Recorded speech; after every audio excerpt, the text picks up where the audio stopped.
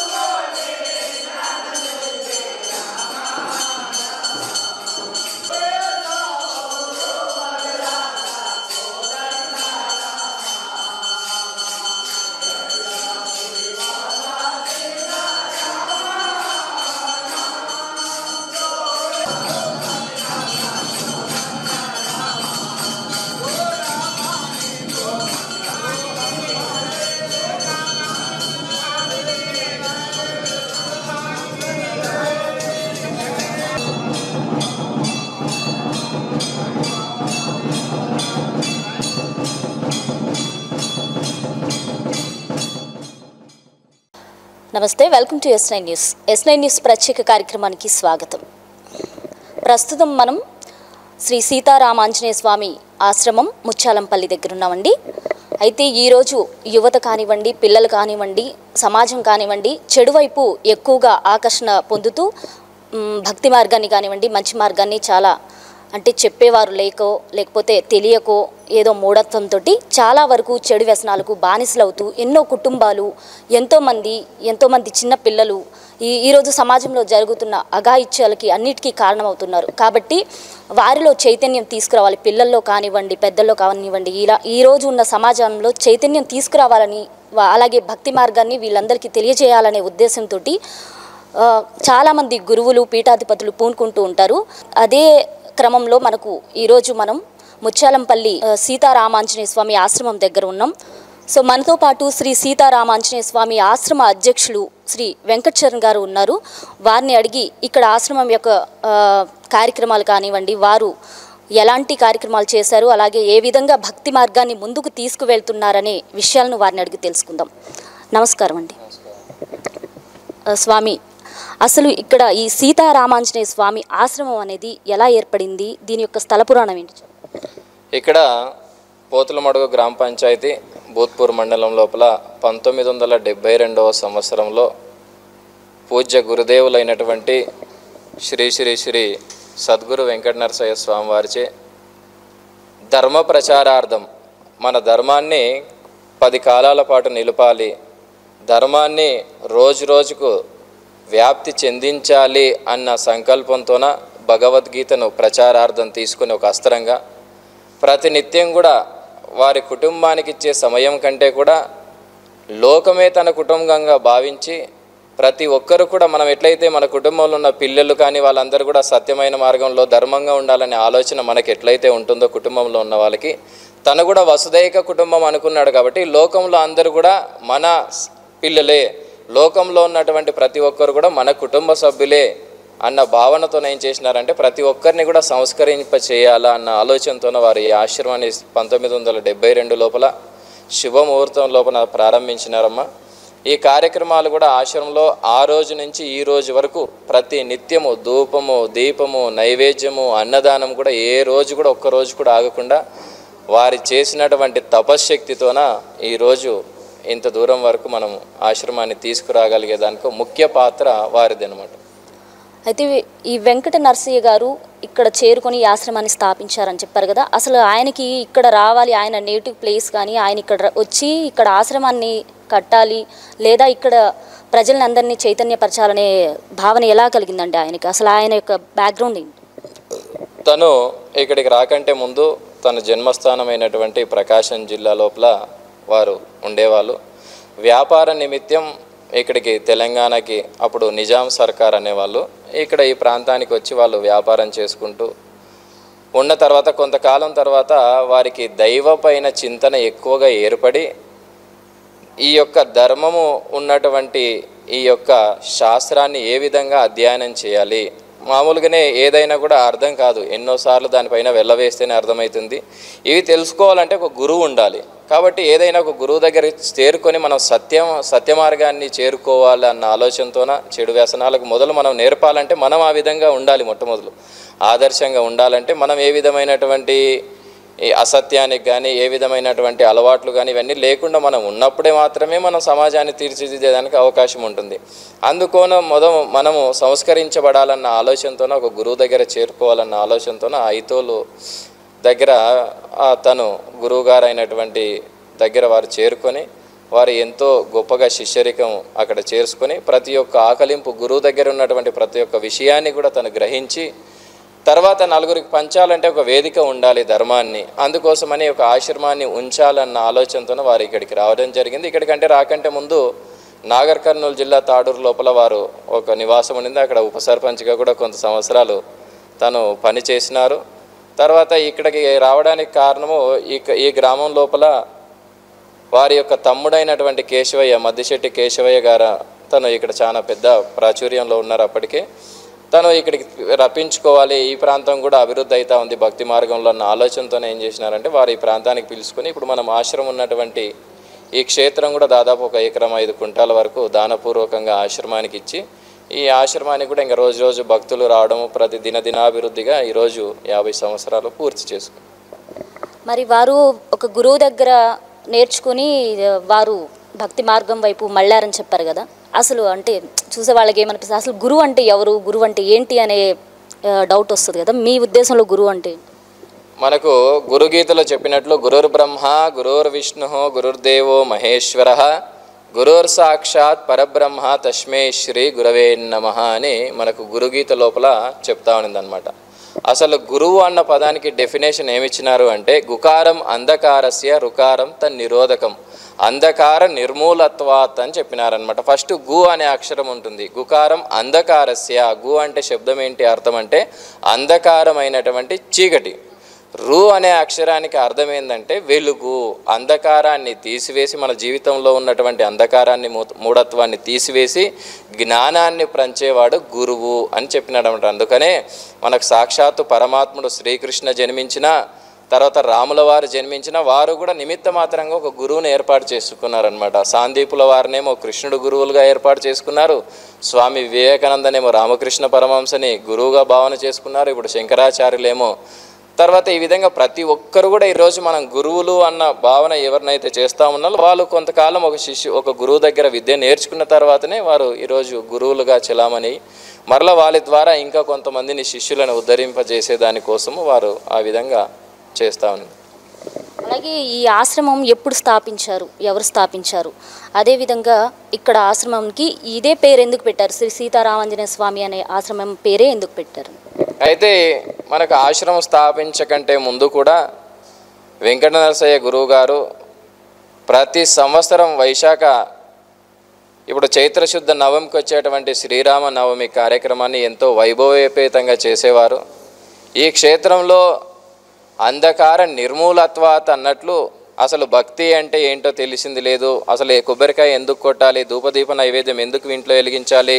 బొట్టు ఎందుకు పెట్టుకోవాలి? ఇట్లాంటి విషయాలన్నీ కూడా తెలియనప్పుడు శాస్త్రం ప్రతి ఒక్కరికి బోధించాలా అన్న ఆలోచనతోన వారు ఒక గొప్ప ఎత్తున ఒక కార్యక్రమాన్ని ఏర్పాటు చేయాలని భావన చేసుకుని వై ఈ యొక్క చైత్రమాసంలో జరిగేటువంటి శ్రీరామ కళ్యాణాన్ని తను భావనగా చేసుకొని దాన్నే శ్రద్ధ పైన పెట్టేసి ఈ కార్యక్రమం ద్వారా మనం ప్రజల్లోకి వెళ్ళాలన్న ఆలోచనతోన సీతారాముల కళ్యాణం ప్రతి సంవత్సరం కూడా చేసేవాళ్ళు. వీరి యొక్క జ్ఞాపకార్థమే ఇప్పుడు వనపర్తి జిల్లాలో మున్ననూరులో కూడా వారి శిష్యులైనటువంటి వాళ్ళే ఇప్పుడు అక్కడ కూడా ఒక ఆశ్రమాన్ని ఏర్పాటు చేసి అక్కడే సీతారాముల విగ్రహాలు కూడా చేసి ప్రతి సంవత్సరం కూడా ఆ సాంప్రదాయాన్ని పోకుండా అక్కడ ఏర్పాటు చేసి జరుగుతూ ఉండింది అనమాట అనుబంధంగానే ఉంటా ఉంది. అందుకోసమని సీతారాముల కళ్యాణం ప్రతి సంవత్సరం జరుగుతూ ఉండింది వారి ఆధ్వర్యంలో కాబట్టి వారు తను చాలించిన తర్వాత ఆశ్రమంలో సమాధి అయిన తర్వాత ఈ ఆశ్రమానికి కూడా సీతారామ ఆంజనేయ ఆశ్రమం అనే పేరు రావడం జరిగింది. ప్రస్తుతానికి మరి వెంకట నరసింహ గారి తర్వాత దీన్ని ఎవరు హ్యాండ్ ఓవర్ చేసుకొని ఎవరు ఆయన యొక్క భావాలను అర్థం చేసుకొని ముందుకు తీసుకువెళ్ళారు దీన్ని మళ్ళీ ఇప్పటి వరకు అంటే ఇప్పటి వరకు కొనసాగుతుంది కదా ఈ వంశ పారపర్యం అనేది ఎలా ఉంది?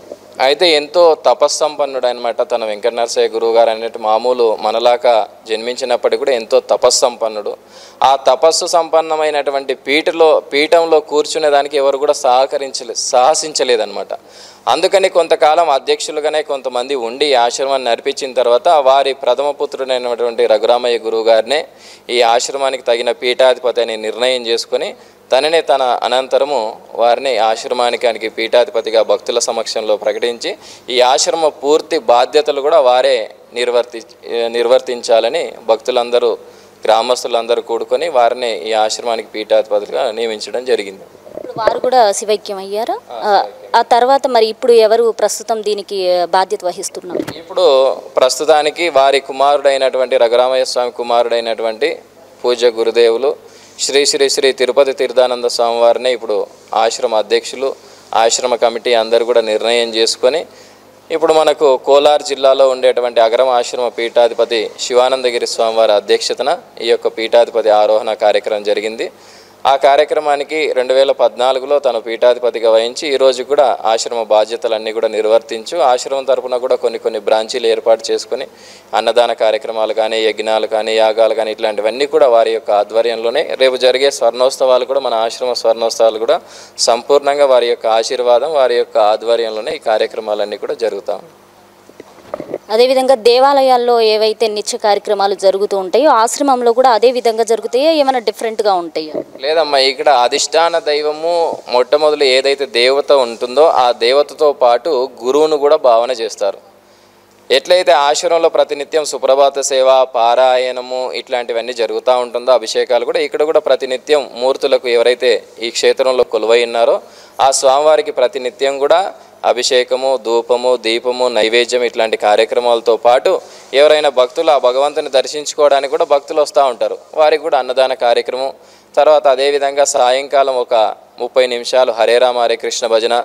తర్వాత ఒక ఏదైనా ఒక గ్రంథం పైన రామాయణ భారత భాగవతం పైన ప్రతిరోజు ఒక అర్ధగంట సేపు సత్సంగ కార్యక్రమాలు. తర్వాత మూడు పూటల ఉదయం మధ్యాహ్నం సాయంత్రం కూడా మహామంగళారతి కార్యక్రమాలు. ఇట్లాంటివన్నీ కూడా ప్రతినిత్యం జరుగుతూ ఉంటాయి. సో మన ఈ వెంకట నరసయ్య గారు దీనికి మూలం అన్నారు కదా. ఇప్పుడు పీఠాధిపతులు వచ్చేసి తీర్థానంద స్వామి. వారి యొక్క కుమారులు మీరు వెంకట చరణ్ గారు. అయితే మీరు ప్రస్తుతానికి ఈ యొక్క ఆశ్రమం యొక్క అధ్యక్షత అధ్యక్షులుగా ఉన్నారు. మీకు అసలు ఇటువైపు భక్తి మార్గం వైపు రావాలి అనే ఆలోచన ఎప్పుడు కలిగిందండి? అసలు ఇలా ఇటువైపు మీరు చూస్తే చిన్న వయసు వారు లాగే ఉన్నారు కదా. చిన్న వయసు వారికి భక్తి వైపు రావాలనే ఆలోచన చాలా తక్కువ. మరి మీలో ఈ ప్రేరేపణ ఎలా కలిగింది? అయితే ఇక్కడ సద్గురు రఘురామయ్య గురువు గారు పీఠాధిపతిగా ఉన్నప్పుడు ఒక కమిటీని ఏర్పాటు చేసి దానికి వెంగళాయపల్లి కుర్మయ్య అనేటువంటి వ్యక్తిని అధ్యక్షులుగా నియమించి వారికే పూర్తి బాధ్యతలు ఇక్కడ నిర్మించేటువంటి ప్రతి ఒక్క పనులు కూడా వారి ఆధ్వర్యంలోనే జరిగేటట్టు అప్పుడు ఉన్న కమిటీ నిర్ణయం చేసుకునిందనమాట వారు కొంతకాలం తర్వాత ఈ యొక్క బాధ్యత సంసారికంగా ఉన్నాడు కాబట్టి ఆ సాంసారిక బాధ్యత ఎక్కువైపోయి స్వామి దీన్ని నేను మొయ్యలేకపోతా ఉన్నింది భారాన్ని. ఖచ్చితంగా మీరు ఈ వంశంలోనే ఉన్నింది కదా. ఈ అధ్యక్ష పదవిని మీరు కొంతకాలం వరకు మీరు తీసుకోండి అన్న ఆలోచనతోనే అందరి సమక్షంలోనూ మనల్ని అధ్యక్షులుగా ఎన్నుకోవడం జరిగింది. ఇక్కడ ఇంతకంటే ముందు ఇప్పుడు ఈ మరమ్మతులంతా కూడా జరగకముందు ఒక చిన్న రేకులతోన ఒక మండపం ఉండేది.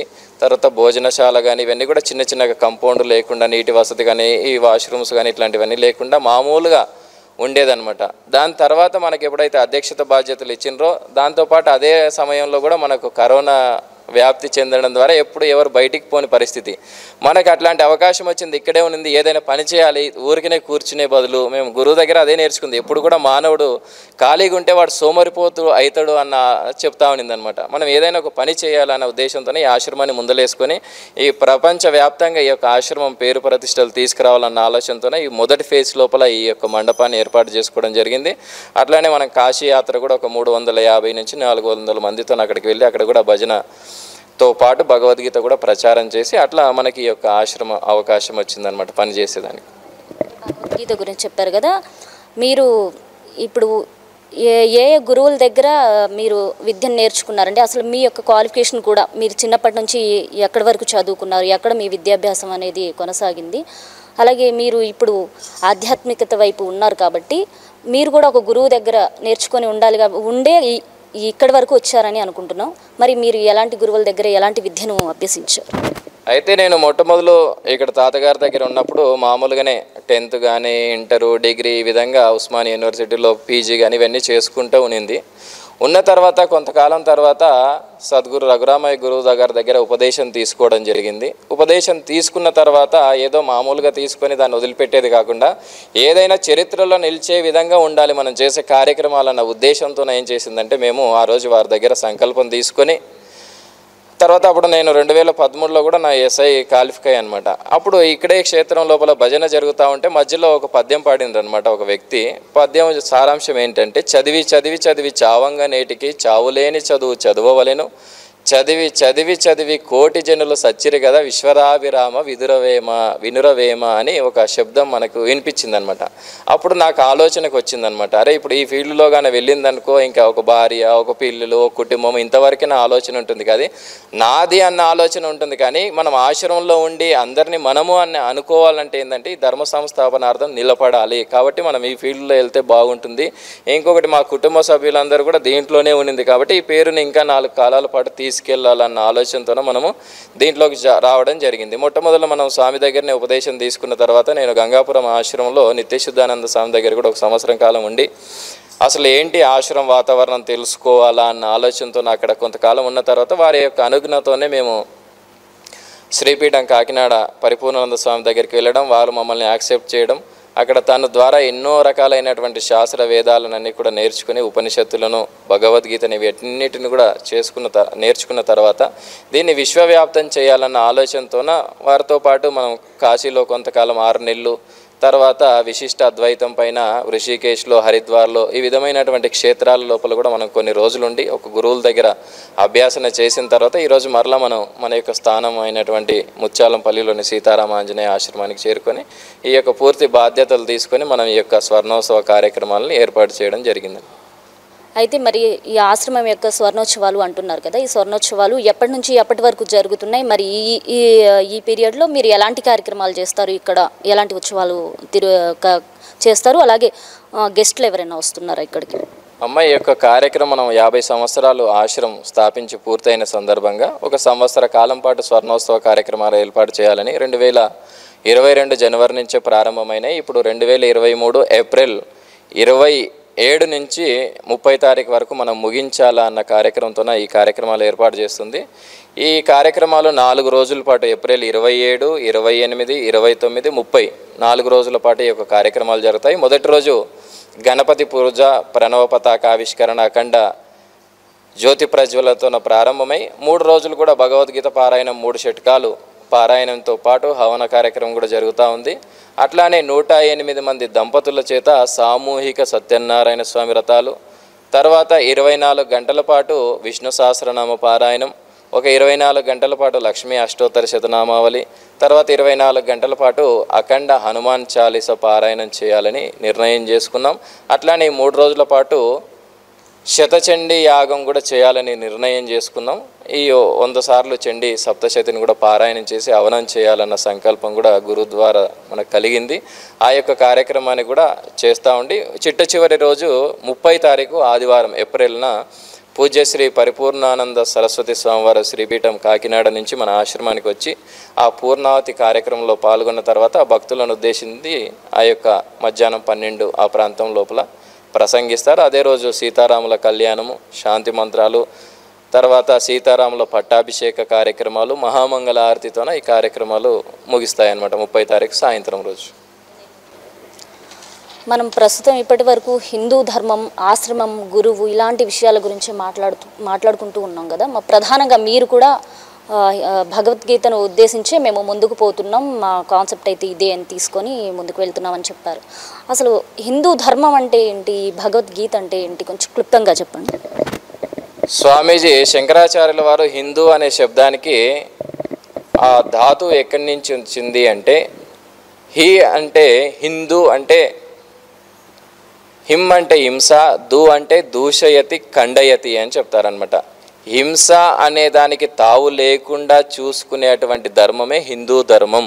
హిమ్ అంటే హింస దు అంటే దూషయతి ఖండయతి.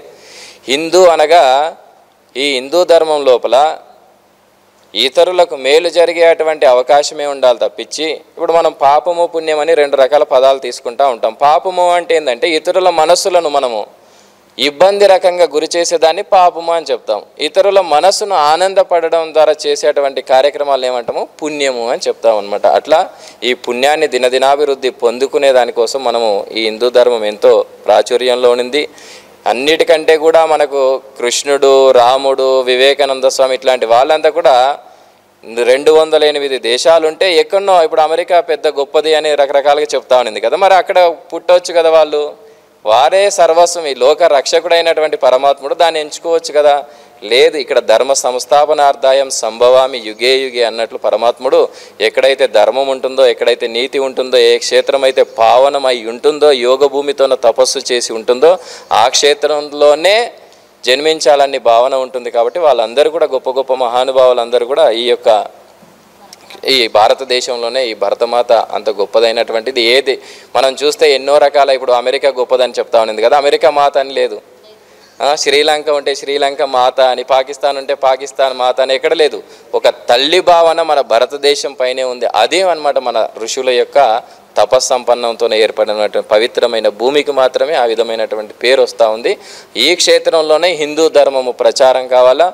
ఇప్పుడు దీంతో పాటు లోకలోకాలకన్నిటి ఇతరుల దేశాల్లో కూడా ఇస్కాన్ కానీ మొదలైనటువంటి రామకృష్ణ మిషన్తో పాటు ఈ ధర్మాన్ని ఇంకా వీలైనంత వరకు ఇతరుల దేశాలతో కూడా మనము గొప్పగా ప్రచారం చేయాలన్న ఆలోచనతోనే మన హిందూ ధర్మంలో ఉన్న పీఠాధిపతులు మఠాధిపతులు అందరూ కూడా ప్రయత్నం చేస్తూ ఉన్నిందని అదేవిధంగా ఫైనల్గా మీరు సమాజాన్ని ఉద్దేశించి ఈ యొక్క ఆశ్రమం యొక్క ఉద్దేశం కూడా సమాజాన్ని ఉద్ధరించాలనే ఉద్దేశంతో ప్రారంభించానని చెప్పారు.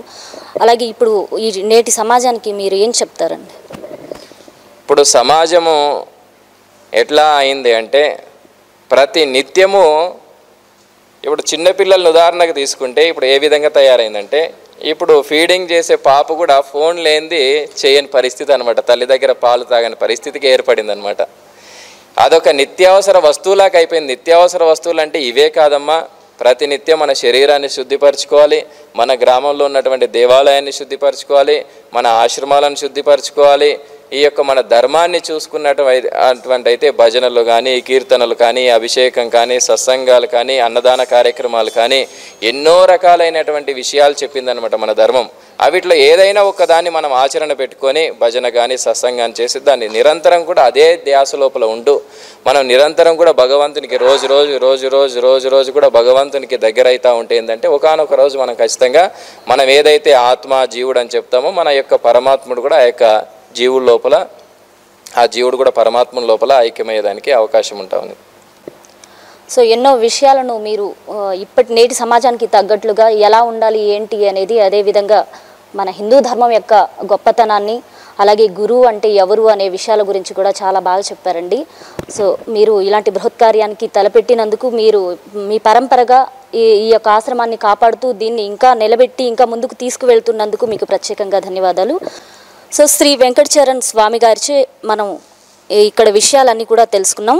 అలాగే శ్రీ సీతారామాంజనేయ స్వామి ఆశ్రమ స్వర్ణోత్సవాలు ఏప్రిల్ ఇరవై ఏడవ తేదీ నుంచి ముప్పైవ తేదీ వరకు జరిగే స్వర్ణోత్సవ కార్యక్రమాలకి ముఖ్య అతిథిగా ముఖ్య అతిథిగా శ్రీ పరిపూర్ణానంద స్వామి వారు విచ్చేస్తున్నారు. అలాగే ఇక్కడ అనేక కార్యక్రమాలు జరగబోతున్నాయి. కాబట్టి భక్తులందరూ కూడా ఈ యొక్క పూజాది కార్యక్రమాలలో పాల్గొని స్వామివారి కృపకు పాత్రులు కాగరడని ఇక్కడ ఆశ్రమ కమిటీ వారందరూ ఆహ్వానిస్తున్నారు. సో ఈ యొక్క సదవకాశాన్ని భక్తులందరూ కూడా చక్కగా వినియోగించుకోవాలి. వీడియో జర్నలిస్ట్ అశోక్తో పార్వతి ఎస్ నైన్ న్యూస్. గణేశాయ నమ. శ్రీ గురుభ్యో నమ. మాతృదేవో భవ పితృదేవో భవ ఆచార్య దేవో భవ అతిథి దేవో భవ. హరి ఓం తత్సత్. ఈరోజు మనం ఇక్కడ మన సీతారామంజన ఆశ్రమంలో ముత్యాలంపల్లి గ్రామంలో రేపు జరగబోయే స్వర్ణోత్సవ కార్యక్రమంలో భాగంగా ఇక్కడ ముఖ్య అతిథులుగా వచ్చినటువంటి శ్రీ యానాగొంది యానాగొంది మాత మాణిక్యేశ్వరి మాత ప్రియ శిష్యులు శ్రీ గౌరవాచార్యుల వారు పురోహితులు ఆశ్రమ శ్రేయోభిలాషులు. వారు మన ఆశ్రమకి ప్రతి సంవత్సరం కూడా దైవకార్యంలో పాల్గొంటూ కళ్యాణోత్సవంలో మరియు ఆరాధనోత్సవ కార్యక్రమంలో పాల్గొంటూ మనందరికీ కూడా వారి దివ్యమైనటువంటి అమృతవాణి వినిపిస్తుంటారు. కాబట్టి ఇట్టి సందర్భంలో వారు కూడా మన ఆశ్రమానికి విచ్చేసినారు. రేపు జరగబోయే కార్యక్రమం అనగా ఏప్రిల్ నెల ఇరవై ఏడు నుంచి ముప్పై తారీఖు వరకు చండీ హోమం జరుగుతుంది. అటువంటి చండీ హోమానికి మరి ప్రధాన కారకులైనటువంటి గౌరవాచార్య పురోహితులు వారి ఆధ్వర్యంలో ఈ కార్యక్రమం జరుగుతుంది. మరి అటువంటి మహబూనారు పట్టణంలో వారు ఉంటూ మన ఆశ్రమానికి ఎప్పుడు కూడా ఏ కార్యక్రమానికి కూడా హాజరవుతూ భక్తులందరికీ కూడా వారి యొక్క అమృతవాణి వినిపిస్తూ ఇటువంటి కార్యక్రమంలో పాల్గొంటున్నారు కాబట్టి ఇప్పుడు ఈ కార్యక్రమానికి వారు ఇచ్చేసినారు ఇప్పుడు మనకు వారందరూ కూడా వారు దివ్యమైనటువంటి అమృతవాణి వినిపిస్తారు. మనం వినవలసిందిగా కోరుచున్నాము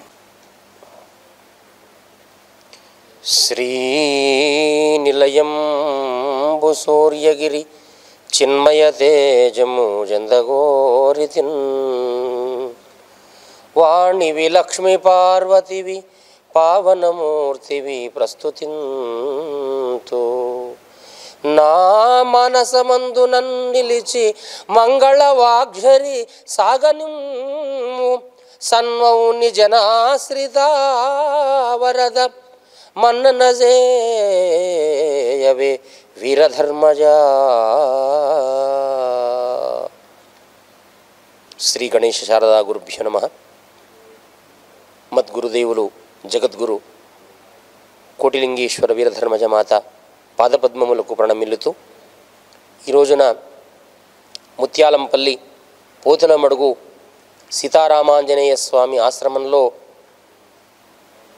స్వర్ణోత్సవాల సందర్భంగా ఏర్పాటు చేయబడినటువంటి చండీయాగ కార్యక్రమము ఇరవై ఏడవ తేదీ నుండి ముప్పై తేదీ వరకు జరుగుతున్నటువంటి ఆ కార్యక్రమాలలో ప్రచారంలో ఒక భాగంగా శ్రీ శ్రీ శ్రీ శ్రీమాత ఉపాసకులు కాకినాడ పీఠము పరిపూర్ణానంద స్వామి వారు ముప్పై తారీఖున మన ప్రాంతానికి రావడము.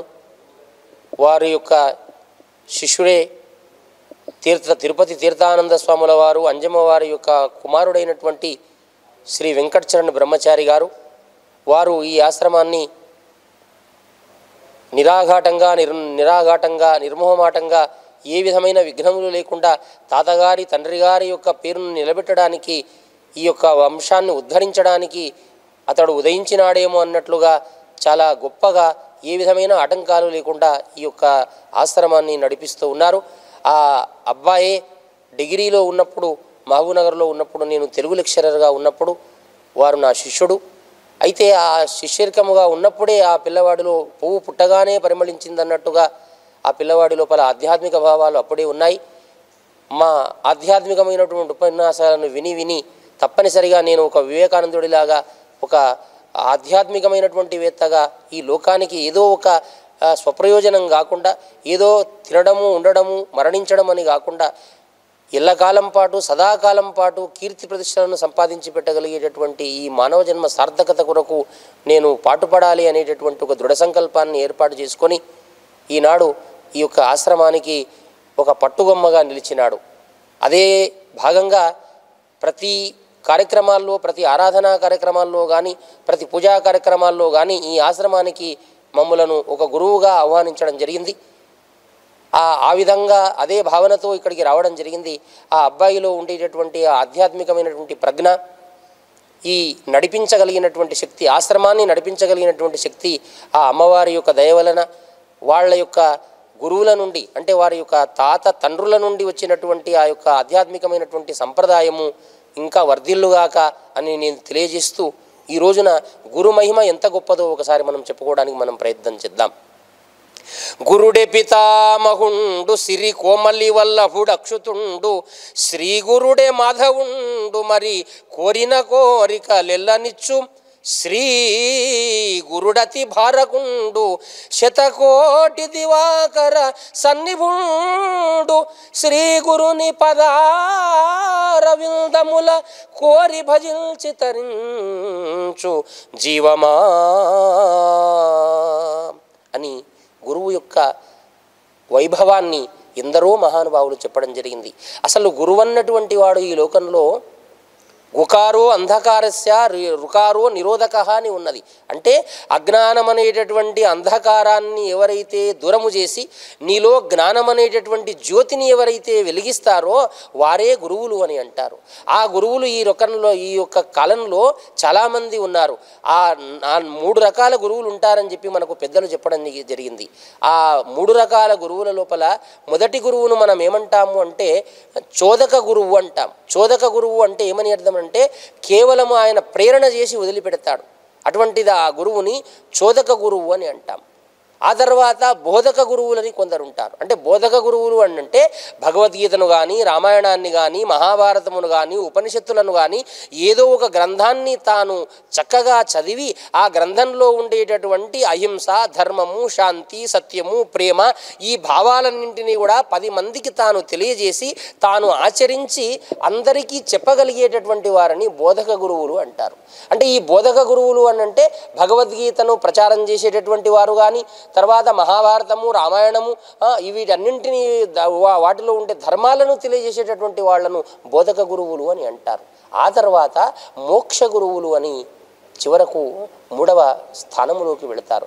ఈ మోక్ష గురువులు అనేటటువంటి వారు దొరకడం అనేటటువంటిది మనకు చాలా దుర్లభమైనటువంటిది ఈ కలియుగంలో.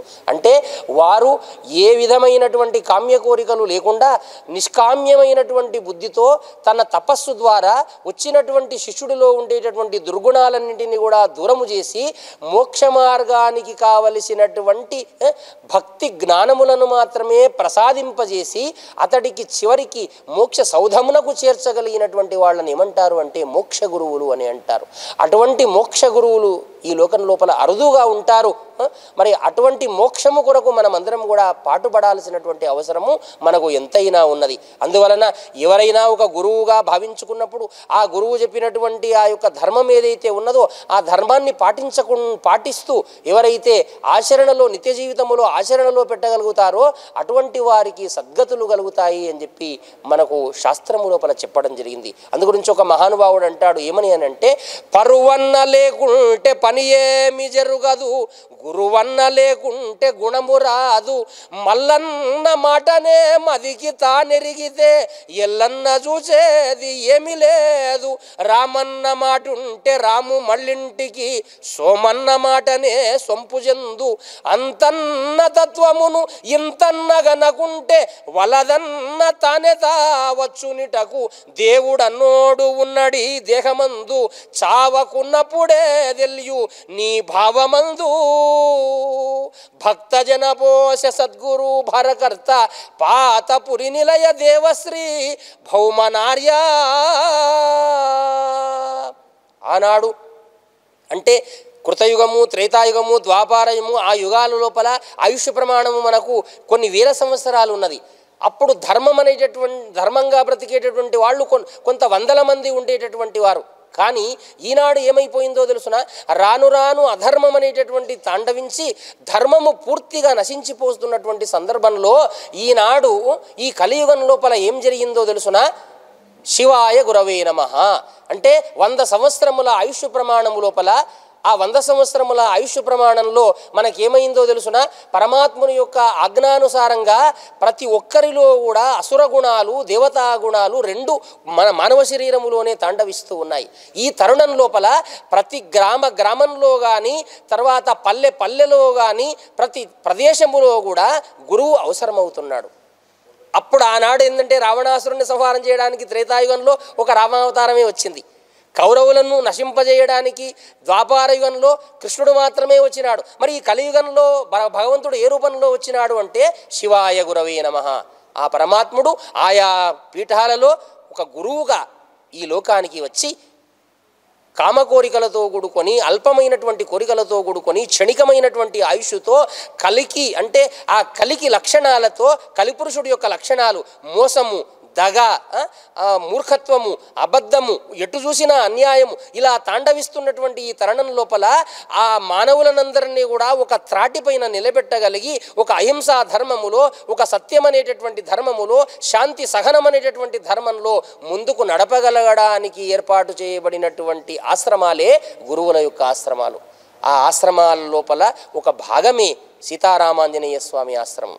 ఇది ఈ విధంగా ఈ తరుణంలో వెళ్ళింది. వాళ్ళ తాతగారు కూడా వెంకట నరసయ్య గారు వాళ్ళ వాళ్ళ వాళ్ళ యొక్క నాన్నగారు కూడా రఘు వాళ్ళ యొక్క కుమారుడు రఘురామయ్య గారు ఇలా పరంపరగా వస్తూ ఉన్నది. ఈ పిల్లవాడు వాళ్ళ తాతగారి నాన్నగారి యొక్క వాళ్ళ యొక్క కీర్తిని వాళ్ళు వాళ్ళ వాళ్ళు చాటి చెప్పుతూ ఉన్నటువంటి ఈ యొక్క జ్ఞానాన్ని ముందుకు తీసుకుపోవాలనేటువంటి ఒక ఉద్దేశంతో మాలాంటి గురువులను సంప్రదించి ఇటువంటి ధార్మికమైనటువంటి కార్యక్రమాలు ఎన్నింటినో ఆయన చేయడానికి తలపెట్టినాడు. అందుగురించే దైవాధీనం జగత్సర్వం. ఈ లోకమంతా కూడా పరమాత్ముని యొక్క అధీనములో ఉన్నది. కానీ ఆ పరమాత్ముని ఆధీనములో ఉన్నటువంటి ఈ లోకము మరి ఎవరి ఎవరి ఆధీనములో ఉన్నది అంటే మంత్రాధీనంతో దైవతం అంటాడు. అంటే దైవత్వం అనేది మంత్రములో నిక్షిప్తమై ఉన్నది. తన్మంత్రం బ్రాహ్మణాధీనం. ఆ మంత్రము ఎవరి ఆధీనములో ఉన్నదంటే వేద పండితుల యొక్క ఆధీనములో బ్రాహ్మణుల యొక్క ఆధీనములో ఉన్నది. బ్రాహ్మణో మమదైవతం అంటారు. అందువల్ల బ్రాహ్మణులు దైవముతో సమానము అని అంటారు. ఎవరైతే బ్రహ్మజ్ఞానాన్ని పొందినటువంటి వారు ఎవరైతే ఉంటారో వారే బ్రాహ్మణోత్తములు. ఆ బ్రహ్మజ్ఞానాన్ని పొందినటువంటి వాళ్ళు ఎవరైతే ఉన్నారో వాళ్ళు ఈ భారతదేశంలోనే ఉద్భవించినారు. కాబట్టి ఈ సనాతనమైనటువంటి భారతదేశము చాలా సనాత ఉన్నతమైనటువంటిది. ఈ భారతదేశంలో ఒక మనకు పుట్టినందువలన జన్మ సార్థకత చేసుకోవడానికే మానవ జన్మను ఉపయోగించుకోవాలి తప్ప ఈ పశుత్వముతో కూడుకున్నటువంటి ఈ అజ్ఞానముతో కూడుకున్నటువంటి ఈ లౌకికమైనటువంటి కోరికలను కోరుకొని ఈ శాశ్వతమైనటువంటి పరమాద్భుతమైనటువంటి మానవ జన్మను మనం దుర్వినియోగం చేసుకోకుండా మనమందరము కూడా భారత సనాతనమైనటువంటి ధర్మాన్ని నిలబెట్టి మనము ముందుకెళ్ళగలిగి ఇటువంటి ఆశ్రమాలను దర్శించుకొని ఇటువంటి గురువులను ఎందరెందరో గురువులు ఉన్నారు. ఇప్పుడు యానగుందిలో ఉండేటటువంటి అక్కడ ఉండేటటువంటి వీరధర్మజ మాణిక్యేశ్వరి మాత ఎవరైతే ఉన్నారో బాల్యమునందే నేను అక్కడికి వెళ్ళి ఈ జ్ఞానాన్ని నేను పొంది అమ్మగారి యొక్క సంపూర్ణమైనటువంటి ఆశీర్వాదాన్ని పొంది ఈనాడు జ్ఞాన అహింసా ప్రచారాలు జిల్లా జిల్లాలలో మరి అన్ని తెలంగాణ తర్వాత ఆంధ్ర కర్ణాటక ప్రాంతాలలో కూడా వెళ్ళి అమ్మవారి అనుగ్రహంతో ఆ జ్ఞాన ప్రచారాన్ని అహింస ప్రచారాన్ని జరుపుతూ ఉన్నటువంటి భాగంలోనే ఈ ఈ యొక్క ఆశ్రమాలకు కూడా అప్పుడప్పుడు వేంచేసి ఇక్కడ వచ్చినటువంటి భక్తులందరినీ కూడా ఆ జ్ఞానాన్ని ప్రచారం చేసి వాళ్ళ లోపల అజ్ఞానపు చీకట్లను తొలగింపజేయడానికి జ్ఞానం అనేటటువంటి ప్రకాశాన్ని అహింస అనేటటువంటి ధర్మాన్ని వాళ్ళలో ఆచరణలో ఏర్పాటు చేయడానికి ఓ చిన్న ప్రయత్నము మేము చేయడానికి చేయడానికి మేము పూనుకున్నాము. ఆ యొక్క అవకాశాన్ని ఇక్కడ ఉండేటటువంటి రఘురామయ్య గారు వీరందరూ కూడా మాకు ఏర్పాటు చేయడం జరిగింది. అందువల్లనే ఈనాడు ఈ టీవీ పరంగా మీ అందరికీ కూడా లోకానికంతా కూడా జ్ఞానము నింపాలి లోకానికంతా కూడా ఆదర్శం కావాలి లోక ఇది లోకా సమస్తాన్ సుఖినోభవంతు సర్వేజనా సుఖినోభవంతు అనే ధర్మాన్ని మన సనాతనమైన ధర్మాన్ని నిలబెట్టడానికి పట్టుగొమ్మలే నిలయాలే కల్పవృక్షము వంటి కల్పవృక్షము కల్పతరువు వంటి సముదాయమే ఈ ఆశ్రమాలని మీ అందరి ముందు కూడా తెలియజేస్తూ స్వస్తి. నా పేరు బీసన్ అండి. అయితే మాది ఫస్ట్ గద్వాల్ గద్వాల్ తాలూకా. అయితే మేము హైదరాబాద్లో నివాసం చేస్తున్నాము. ఇక్కడ రాబట్టి మా గురువు గారు పద్నాలుగు పదమూడు పద్నాలుగు సంవత్సరాలు అవుతుంది. అయితే మేము చిన్న ఫస్ట్ ఏదో చిన్నగా ఇట్లా చూసుకు చూద్దామని వస్తే మా కురుమయ్య గారు మా అధ్యక్షులు ఉన్నారు ఇక్కడ. ఆయన వచ్చి మా గురువు గారితో అట్లా కాదయ్యా ఇట్లా సంగతి ఇట్లా మంచిగా ఉంటుంది మన హిందూ ధర్మం బాగుంటుంది అని చెప్పి మాకు